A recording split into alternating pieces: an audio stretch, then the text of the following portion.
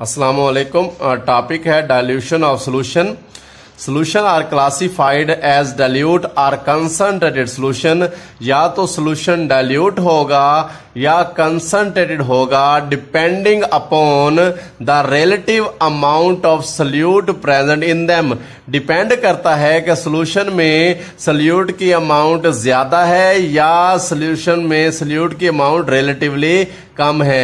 यानी ये जो कंसन डाल्यूट सोल्यूशन है या कंसनट्रेटेड सोल्यूशन है, इनका ताल्लुक सल्यूट की रिलेटिव अमाउंट से होता है। मिसाल के तौर पर अगर हम गौर करें यहाँ पे तो ये 100 ग्राम वाटर में 10 ग्राम NaCl डिजॉल्व करके सोल्यूशन बनाया गया है। और यहाँ 100 ग्राम वाटर में 5 ग्राम NaCl डिजॉल्व करके सोल्यूशन बनाया गया है। तो इस सोल्यूशन की निस्बत, इस सोल्यूशन में सल्यूट की अमाउंट रिलेटिवली कम है तो ये डाइल्यूट सोल्यूशन होगा। और इस सोल्यूशन में, इस सोल्यूशन की निस्बत सल्यूट की अमाउंट रिलेटिवली निस्बतन ज़्यादा है। तो जब निस्बतन सल्यूट की अमाउंट ज़्यादा होगी तो ऐसे सोल्यूशन जो होंगे, वो कंसंट्रेटेड सोल्यूशन कहलाएँगे।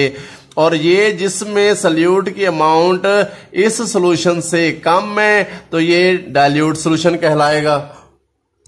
डेफिनेशन देखते हैं।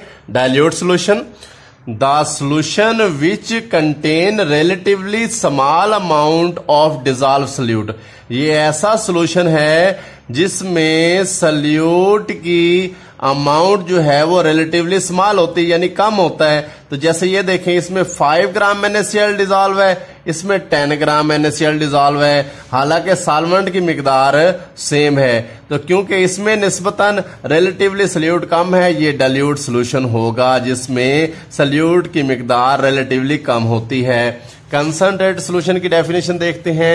The solution which contain relatively large amount of solute जिसमें निस्बतन सल्यूट की मिकदार ज़्यादा होती है रिलेटिवली सल्यूट की मकदार ज़्यादा होती है, वो कंसनट्रेटेड सोल्यूशन है। मिसाल के तौर पर इस सोल्यूशन में सल्यूट की मकदार 10 ग्राम है और इस सोल्यूशन में सल्यूट की मकदार 5 ग्राम है। तो यहाँ सल्यूट की मकदार नस्बता ज़्यादा है और यानी कि ये रिलेटिवली सल्यूट इसमें ज़्यादा हल हुआ हुआ है। इसका मतलब ये है कि इसकी नस्बत ये कंसनट्रेटेड सोल्यूशन है।